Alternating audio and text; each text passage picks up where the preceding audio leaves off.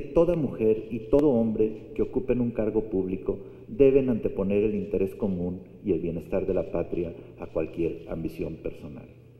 Durante la ceremonia del 206 aniversario del natalicio de don Benito Juárez, el presidente del Senado, José González Morfín, recordó que el Benemérito de las Américas dedicó su vida a edificar un México libre y soberano que tuviera como pilares a las leyes y a las instituciones.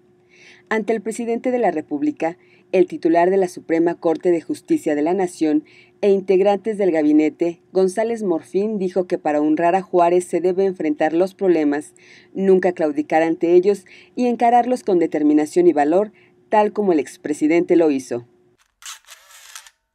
Por otra parte, la Comisión de Agricultura y Ganadería citó al secretario del Medio Ambiente, Recursos Naturales y Pesca y al director de la Comisión Nacional del Agua a fin de que expliquen los impactos del cambio climático en las zonas rurales.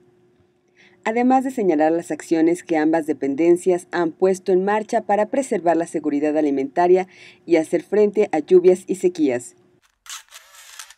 Finalmente, en el patio central de Jicotencatl se realizó el foro La Evaluación Universal en el marco de una reforma educativa, donde maestros expusieron sus puntos de vista sobre reformas relacionadas a ese tema que estudia el Congreso de la Unión.